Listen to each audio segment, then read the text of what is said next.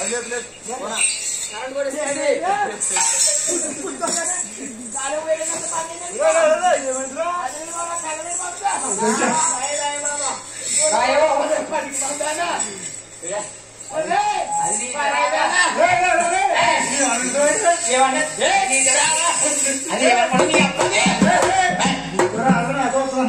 అక్కలతో కొనిపోతారా